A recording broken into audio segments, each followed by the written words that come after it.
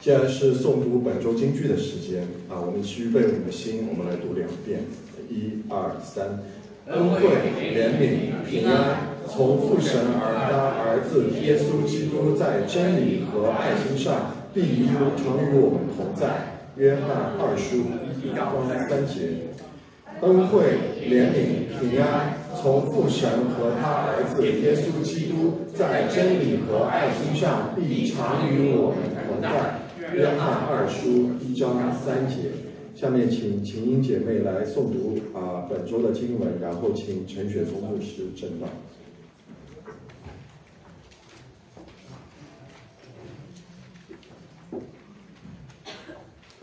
弟兄姐妹，主内平安。平安。今天我要读的经文是《约翰之书》。约翰二书。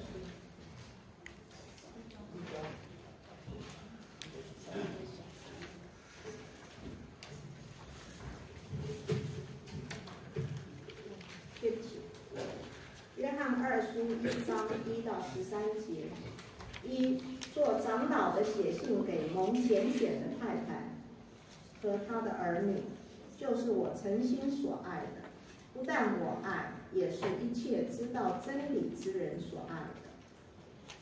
爱你们是为真理的缘故，这真理存在我们里面，也必永远与我们同在。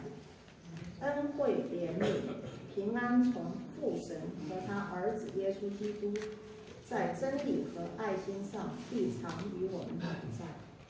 我见你的儿女有照我们从父所受之命令，遵行真理的，就甚欢喜。太太啊，我现在劝你，我们大家要彼此相爱。这并不是我写一条新命令给你。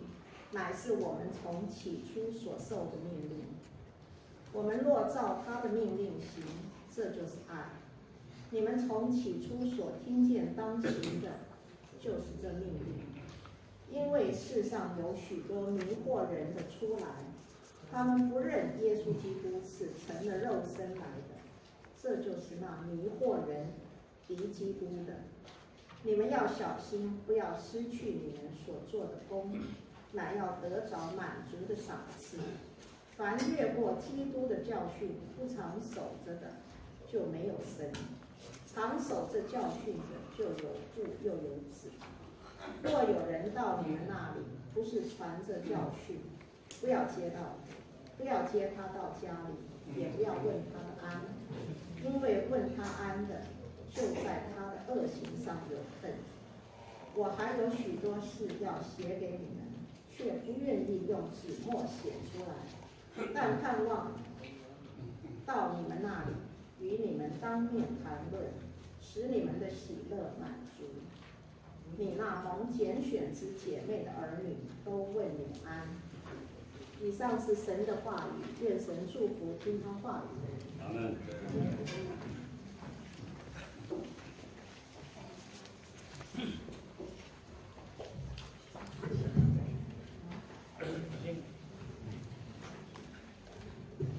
弟兄姐妹，主内平安。平安。我们感谢神，有一起有机会去思考、分享他的话语。那么我也非常有幸呢，能够去去年和教会的一班弟兄姐妹，我们有个美好的家庭的团契。今天在这里算是故地重游，谢谢大家。那么今天呢，我们所要思考的是整本圣经当中最短的一卷书卷《约翰二书》，一共只有十三节。那么在这一卷书当中，非常的特别。我们说，约翰被称之为爱的使徒，他是讲爱讲的最多的。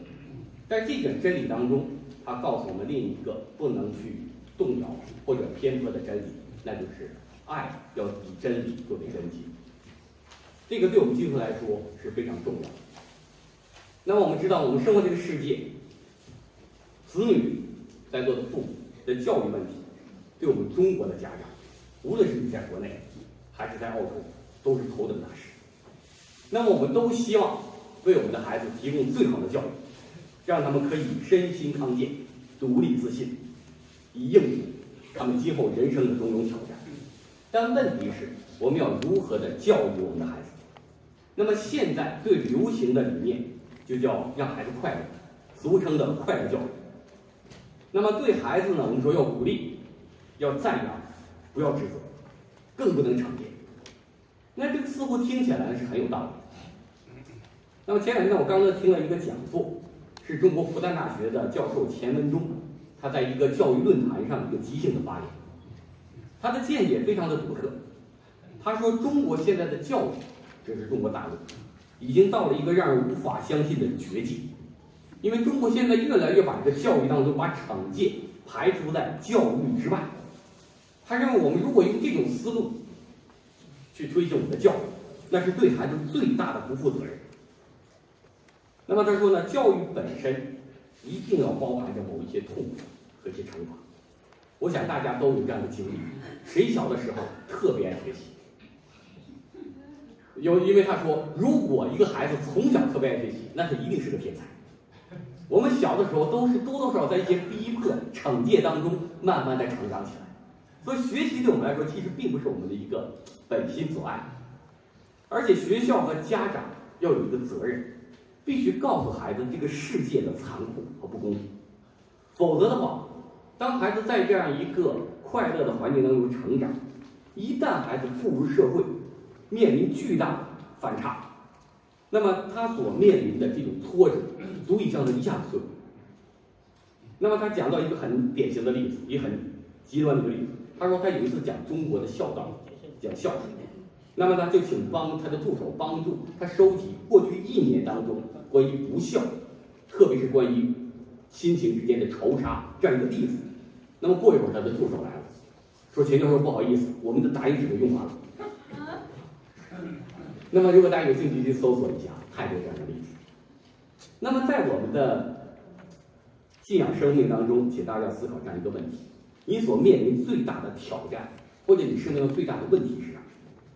其实，我们普遍的困惑，就是在我们的信仰当中，如何持守真理，如何又能彰显爱心。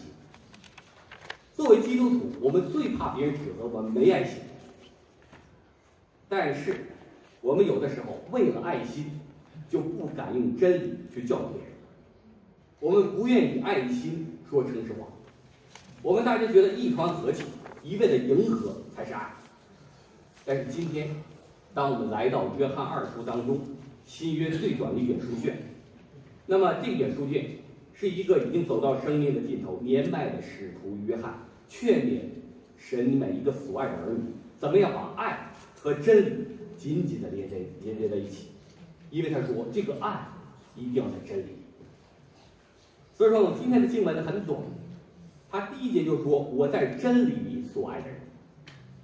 所以呢，在跟一夫所书第四章十五节一比较，我们每一个地方教会的建立是以真理作为一个根基，以爱心作为一个展现，双方互为条件。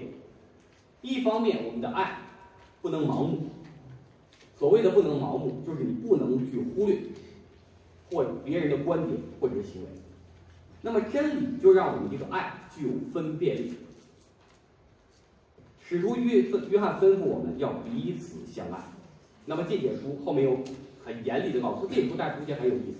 前面讲的是相爱，后面讲的是很严厉的指责，似乎很难把这两个放在一起。但这里很清楚的告诉我们，我们如果不持守真理，与那些敌基督、与那些传假真理的人、与那些骗子待在一起，那么的话，你如果在一起的话，你的爱心就会失去。所以他不认为这个当中有什么矛盾。我们对别人要有爱心，但绝对不能消减对真理的忠诚。另一方面，我们也不能用一种严苛的苦读的来高举真理。换句话说，你有真理，如果你太强调真理，你就会缺乏爱心，你就会牺牲另一个方面。所以我在我们的信仰当中，我们不可以走到另两个极端。我们的爱如果没有真理来坚强，就会变得非常的软弱。但是，我们的真理如果没有爱来调和和展现，就会变得非常的刚硬。所以，圣经命令我们在真理中相爱，也要在爱中持守真理。那么我们今天呢，大家可能手头有大纲，可以看一下我们今天讲到的提纲。我们有两个大的方面来一种分享。首先第一点就是基督徒的爱要以真理作为根基。那么为什么使徒约翰和所有的基督徒都说我爱这个教会的成员？或者说我们大家为什么彼此之间要去相爱？作为一个基督徒，因为是真理的，就是我们住在我们里面的，将与我们同在永恒的真理。所以作为一个基督徒来说，我们最强调的就是爱。耶稣给我们两个最大的建议：爱神，尽心尽意尽心尽力爱主你的神；其次要爱你的邻舍如同自己。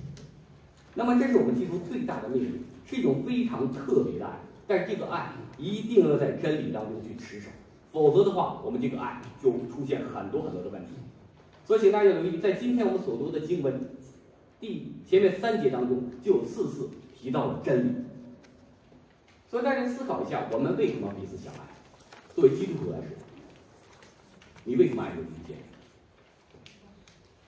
是因为我们的性情相符吗因为神仙爱我们？Yes，是因为因为很多的时候，在这个世界，如果没有一个信仰的话，我们为什么相爱？因为我们可能彼此之间关系很好，我们彼此性格很符合，或者我们彼此间互相相互的吸引。但是作为基督徒来说，我们是因为共享这个真理，像刚才说就，因为神仙爱了我们，把真理给了我们，所以我们才能。所以这个真理不是我们表面的头脑的知识。而是说，这个真理就在我们的生命当中，是我们内在的力量，与我们同在，而且知道永远。所以在真理的里面，在一个教会当中，只要真理能够存留，与我们同在的话，我们的爱就能够一直的持续下去。而且，如果在我们的信仰当中，如果你轻看或者忽视真理，很多的时候，我们为了合一，我们牺牲真理的原则。那么这个教会或这个团体就不会真正的走持久。所以我们的爱不可以妥协真理，因为真正的爱必须要依靠真理才能得以维系。刚才我们唱了一首《爱的真谛》，其中有一句：“爱是不喜欢不义，只喜欢真理。”这是神给我们爱的定义。那么刚才我们唱的《爱的真谛》呢，《哥林多前书》十三章大家都非常熟悉了。那么这里要问大家一个问题。这里讲的爱有什么和我们一般的世俗的爱不同的地方？我们大家都很熟了，爱是恒久忍耐，等等等等。我们刚才念都唱了一遍。那么这里的爱和我们世俗的爱最大的差别在哪里？不求自己的益处。其实很简单，在座弟兄姐妹，我们都是一个团体，我们平时关系都很好，让我们彼此相爱难不难？不难吧？对不对？我们大家都是很亲密的关系，弟兄姐妹，所以让我们在这个当中彼此相爱不难。但是圣经当中这个爱的真理，或者称之为爱的真理，是告诉我们：当你遇到那些不可爱的人，你厌恶的人，逼对你的人，才会用到这个爱的真理，对吧？第一句，爱是恒久忍耐。我们说在座的我们有家庭。夫妻之间，这个恒久忍耐的功课更不好做吧？所以这个当中，其实神给我们的爱，为什么他说是一条命令？就是说靠我们自己人的本性，你做不到。所以神才会特别用这样一个命令的方式去告诉我们，这是我的命令。和今天的第五节结了，这是一条新的命令。因为爱这个爱当中，你必须要做以真理为根基。换句话说，如果是神所吩咐的，你就要去遵行，这才叫爱神。如果我们一方面说爱神，另一方面违背着神的真理，那你怎么叫爱？所以这个爱不是我们的感情。如果以感情为根基的话，我们这个爱很容易就会去流失，就会褪色。我们说，今天你遇到一个可爱的人去爱他，明天遇到一个不可爱的人怎么？而且有的时候，天天见面，你怎么办？所以在这个当中，如果没有一个神的真理作为根基的话，我们很难去持久的忍耐，去爱教会弟兄姐妹，去爱周围的人。所以爱是不喜欢不义，只喜欢真理。神的确爱罪人，但是神绝对不爱我们所犯的罪。所以现在一定要分清楚。神要去拯救我们这些罪人，但是一定要去惩罚面对我们所犯的罪。所以主耶稣基督一定要为我们钉死在十字架上，就是神要去除掉世上所有的罪，而去存留我们这些能够谦卑悔改来到上帝面前的这些蒙恩的罪人。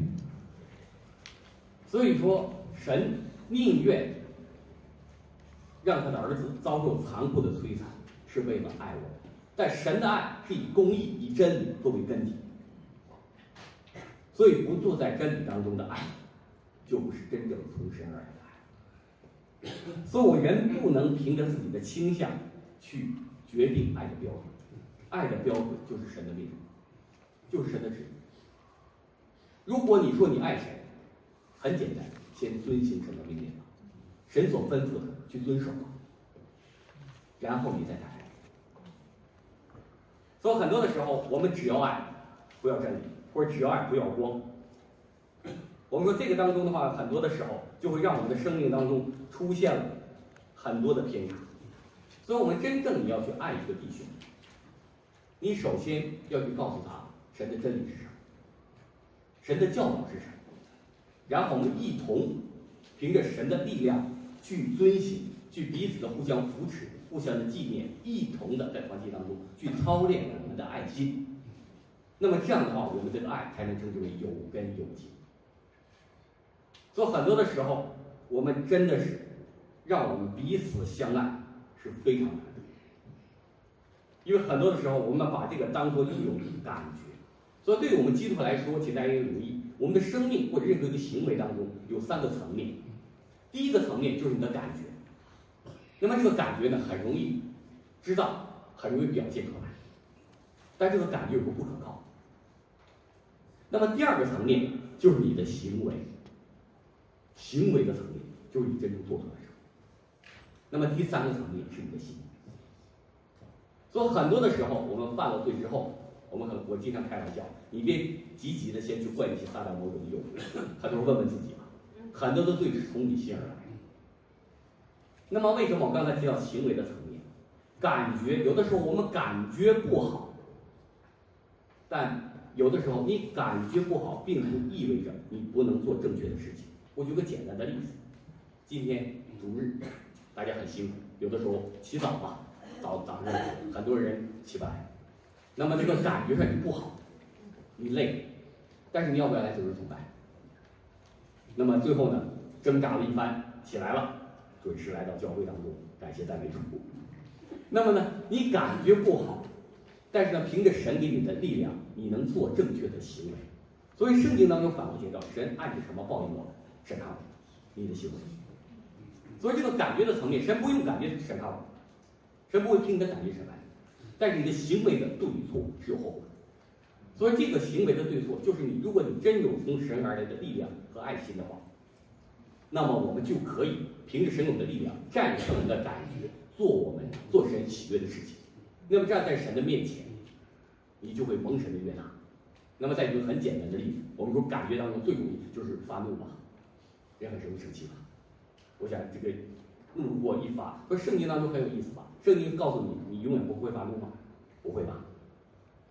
谁说要快快的听，慢慢的说啊，慢慢的读，不可含怒到日落。换句话，神知道我们的软弱，神知道我不发怒是不可能。但是我们可以，你发怒的时候，不要让它产生严重的后果。神是人是有这个能力的。我经常举个很简单的例子：夫妻两人在屋里正在吵架，吵得热火朝天，突然叮咚，有人摁门铃。那你开门的时候，外面站着的朋友，你还会继续吵吗？你一开门，你肯定笑脸向着你，Hello，你好。你正在吵架，我们能不能做到？你可以做到。人是有这个能力，神是给我们这个能力。只要我们能够凭着自己的对神的信心，凡是蒙神的喜悦，神是给你这个能力，能战胜你的感觉，让你的爱活在真理当中，行神所喜悦的事情。所以这个阶段大家一定要去明白。所以对我们来说，遵行真理。彰显爱心，我们不要把它只流落在这个感情的层面上，不要说我们对人同情，对人有连续，对人有安慰，这个当然对。然后你在有困难的时候施以援手，这就是所有的爱心的全部。如果我们真正的爱一个人的话，当一个弟兄姐妹或者我们朋友，他们的生命当中出现了不符合神的真理，去违背神的旨意的时候，我们如果真有爱心的弟兄姐妹，我们要去有责任去指出他来，用爱心说诚实话。这个经文很简单，但是对我们来说是最难，因为我作为牧师，有的时候我说诚实话，即使我再有爱心，用再温柔的言语，弟兄姐妹照样不开心，因为你指出人的软弱，指出人的罪，没有一个人会开心。所以大家请留意。但是对我们来说，真正的爱，你必须要有这样的一个持守。如果没有这样的持守的话，你就不能说你真正的爱神，你也不能谎称你说你爱人。所以神对我们来说，这个命令是很清楚。再次强调一下，神给我们的爱，彼此相爱是一个命令，而且耶稣说的很清楚：你们若能彼此相爱，世人就能因此认出你们是我的。换句话说，耶稣基督知道我们每一个跟随他的儿女他的软弱，知道我们凭我们的本心，你靠你的老我，靠你的罪性，你不可能彼此相爱。所以有的时候大家来到教会，你们可能很挣扎。在一个教会当中，我们有相同的信仰，一个团体当中，为什么彼此之间还有矛盾？原因在哪里？就是我们说每个人都有自己的软弱和罪。当这个软弱罪有冲突的时候，如果我们不大家去一起持守神的真理的话，那矛盾很难避免。所以是耶稣说，来到教会团契，很多人说教会不好，我不来了，我换一个教会。我敢保证，你换一个教会，问题依旧。因为这个问题不出在教会身上，出在你的身上。这个世界没有完美的教会，因为你不完美，你去哪个教会，哪个教会不完美。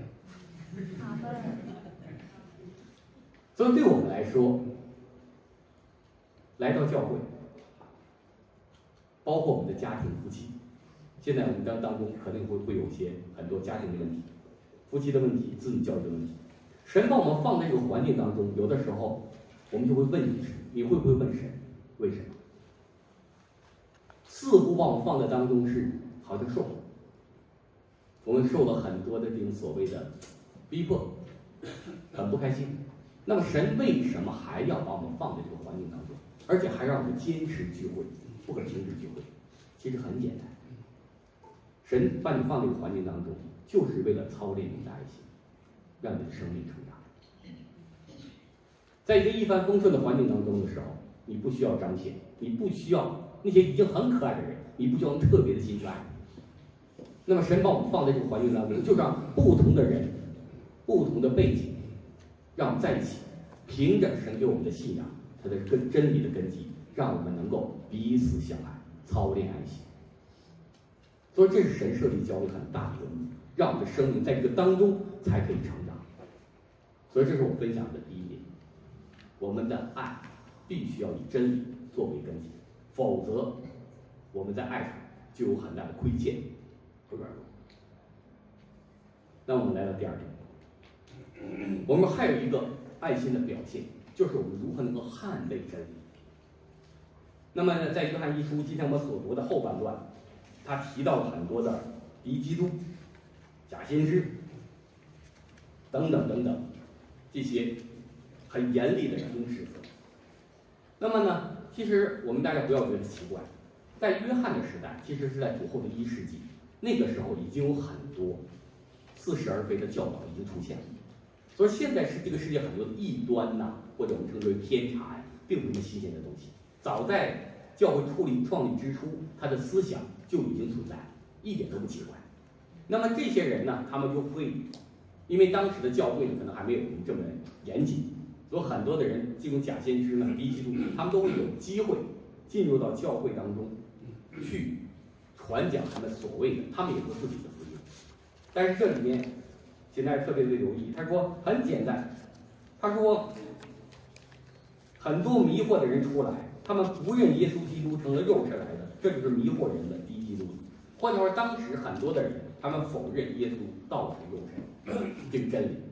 因为呢，这个并不奇怪，因为当时在主后的一世纪，最盛行的是希腊文化。那么希腊文化当中最流行的就是所谓的二元论。说二元论很简单，他就把人的灵魂和肉体是分开的。他认为人的灵魂是圣洁，是高尚，但肉体是污秽。所以一个污秽的肉体是不可能容纳一个纯洁的灵魂。所以他把它一分为二。所以他绝对不相信。作为完全圣洁的耶稣基督，他会用一个人的肉体的形象去生活在这个世界，所以他们极力否认耶稣道成肉身。但是如果我们否认耶稣道成肉身，你就等于否认了基本真理。所以这个当中，我们首先这个约翰告诉我们，我们要学会分辨，学会分辨。那么在这里呢，我们说进入学会分辨的意思，其实并不难。就是说，我们如何能够去分辨是不是神的真理，还是属世的假的真理？是不是似是而非的真理，还是纯正的真理？那么这个对我们来说，其实到今天来说，我们是一个很大的功课。如果我们真的不能区分的话，你就很难去持守真理，你也很难去彼此相爱。所以说，很多时候区分，如何去区分，这个是迷惑这个世界的人。因为这里不世上很多迷惑人，不是耶稣道成肉身，等等等等。那么在今天这个世界当中，也有很多这种类似的教导。那么很多的教教导都出现着很多的偏差和问题。所以大家如果有机会去其他的教会，你不用管这个教会叫什么名称或什么宗派，这个不重要。那么重要的是看看这个教会的教导，他是否承认三位一体。是否相信耶稣道成肉身、复活升天，将来再来审判？一个权威的真理在这个当中，这个教会如果持守的话，无论这个教会叫什么名称、什么宗派，这个都没有问题。所以第一个，约约翰教导我们，就是说学会分辨。这个对我们今天来说尤为重要，因为现在实在是太多这种似是而非的这种教导出来。而且这种教导非常有迷惑性，它不是全错，它是错和对混在一起，没有一个异端，他所有的话都是错的。如果他到一个教会，他坚决否认耶稣是基督等等等等，我们一听就就不会去。但他很多的时候，他把这个真理和谬误混在一起，让我们就觉得很困惑。所以在这个当中的时候呢，我们要去特别的去明白。来到一个教会或在一个团体当中的时候，我们要有一个分别的能力。那么对待这种敌基督或者是假的先知，我们一定要以真理去持守和捍卫。这个我们有的时候你表现当然是怎么说很没有爱心，因为你要跟他一分得很清楚。但是实际上，这恰恰是你真正有爱心的表现。而且很多时候，在我们今天这个社会当中。很多这种敌基督或者假的先知，他们基有的时候是说自己是基督徒，用基督教的名号，有的人甚至是自己说是牧师，甚至说自己是主教，这种机遇。那么这样的人，我们来到教会表面看，当然是要尊敬和爱，但是他这个教导对我们来说是很困难，我们就很难去接受。那么大家都知道，其实现在这个世界已经其实基督教。我们说呢，现在已经出现了很多的问题。传统的基督教，那么大家知道，美国的话呢，在这个同性婚姻上，这个基督教会呢就有很大的一个偏差。那么他们呢是会同，他们曾经案例过一个同性恋的人作为他们的牧师，甚至案例同性恋的人作为他们的主教。那么当我们去来到这个教会当中的时候，这个就不能说我们既然是基督徒，大家就要持守合一。我们就不能分辨，不要指出他们的谬误。那么来到这种教会当中的时候，我们就要去很清醒，他们不能够称之为我们的弟兄姐妹，因为他在这真理上出现太大的偏差，他们基本上否认我们的信仰。所以说，对我们来说，我们就这里说，不要接纳，也不要问安，不要请他们到我们的家里。那这里面就说的很清楚。说对对这样的人，我们要有一个很清晰的一个认识，一个认知。那么很多时候我们做这个是非常困难。因为这么做又回到我的老问题上，说我们没爱心。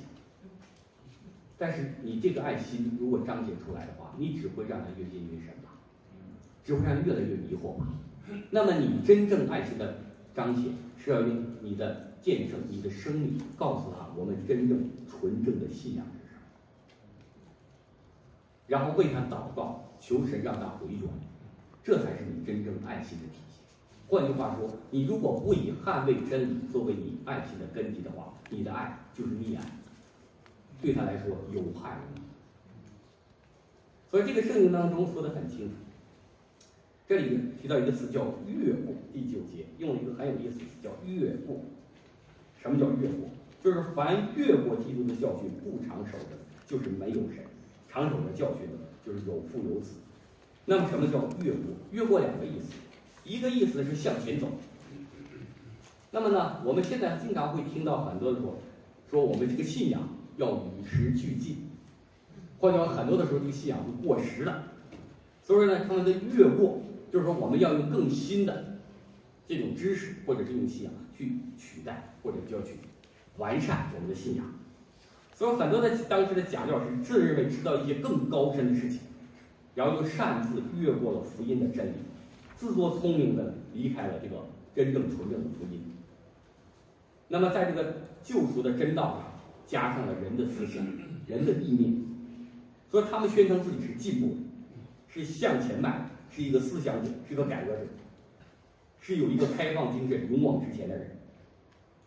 其实约翰就是一个最在新约当中最勇往直前的一个思想家，他本身就是一个非常愿意往前走的人，但是他坚决主张，一个人无论你怎么前进，你必须在神的真理的范围之内。一旦你和神的真理脱离了关系，和上帝的关系出现了问题。那么你的生命就出现很大的问题，你的根基就动摇了。所以说，约翰并不是斥责这种向前走的思想，并不是说我们这个教会会一成不变，没有任何的变，而是说基督耶稣是一切这种真正思想的试金石。任何的思想，任何的教育，如果过不了这个考验的话，就不可能是正确的。另外一个意思，这个越过，是说不是完全的拒绝。而是故意的增加了一些，增加了一点内容，所以有的时候呢，就是说我们对这个信仰的理解就超越它本来的意思，让人就出现了很多误解。所以他们的工作这种思想，它不是完全的反对基督教或者否认这个十字架经，它就是超越，它加多一点，减少一点，然后让你的思想变得混淆，从而误导。所以，如果任何一个假冒真理的人，他绝对不会说他的话一点真的没有。如果都是假的话，我不会去相信。他肯定是真假混淆，而且有的时候他说的多了，假的就越来越像真的，我们就会受到迷惑。所以，今天对我们这个时代，对我们来说，我们如何去面对这种教导？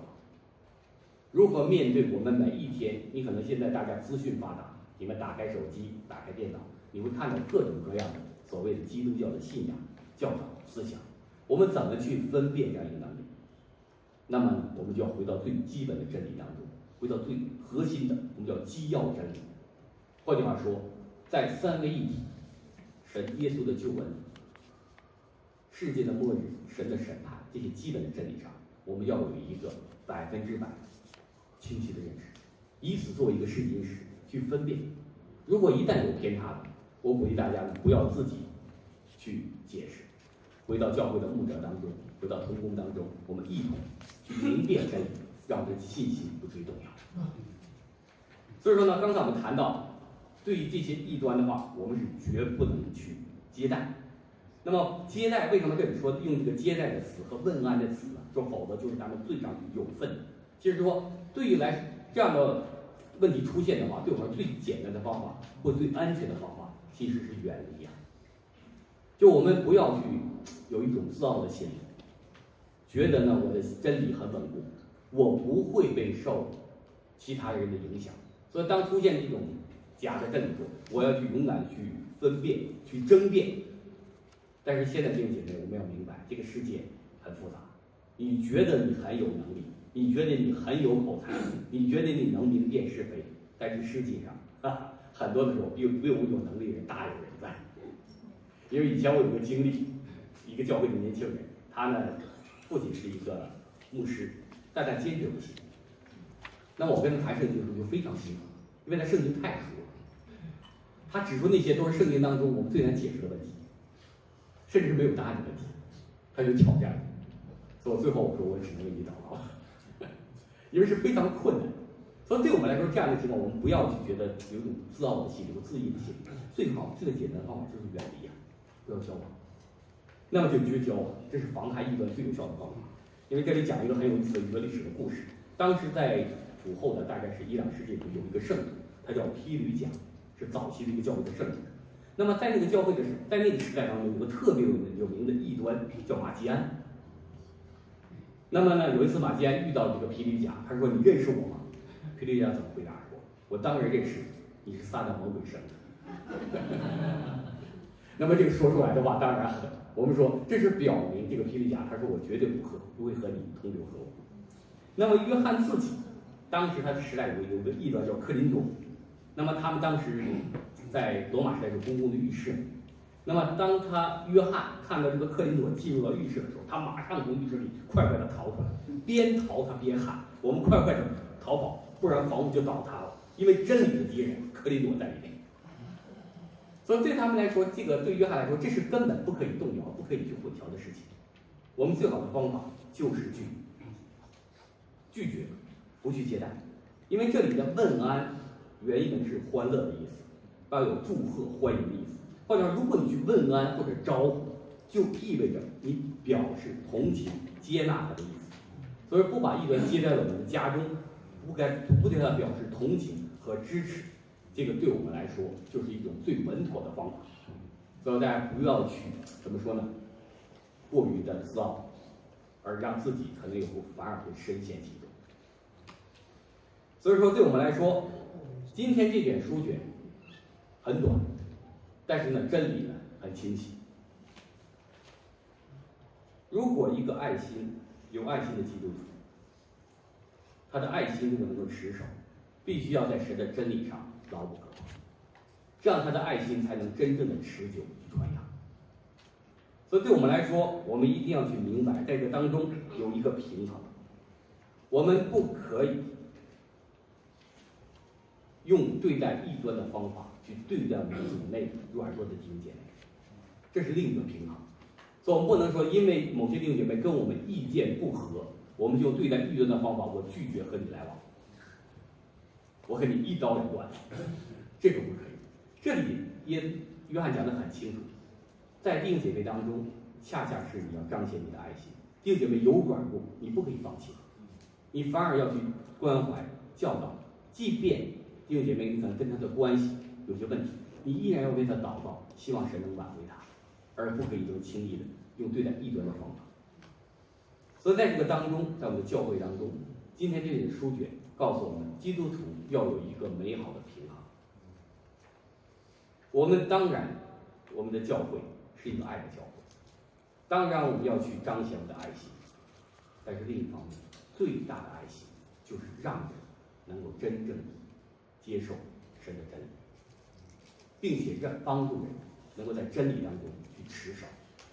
我们彼此一同的成长，一同的进步，一同的效法耶稣基督。这才是一个真正神所喜悦的一个爱的团体，爱的教会。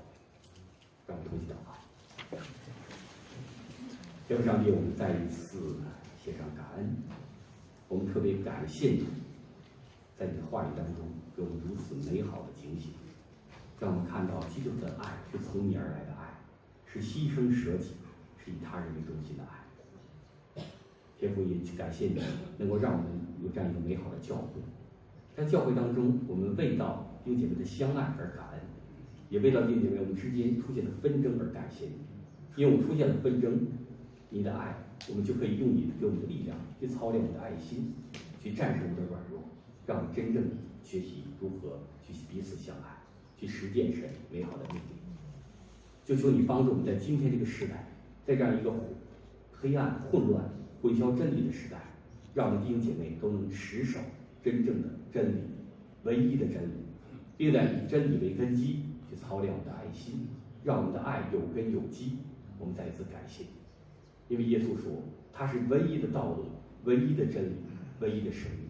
若不借着他，我们没有人能回到父那里去。就求你保守我们在日常生活当中，能够恒切遵循、遵循神的旨意，靠着圣灵的能力活出神的旨意，遵循他的命令，以至于让世人因我们的行为看到我们是属基督的门徒。天父，我们再次感谢你给我们这样美好的福分，就求你施恩保守我们的生命，让我们的生命都成为你美好的见证。我们上的感恩祈求，奉我主耶稣基督宝贵的圣名而求。谢。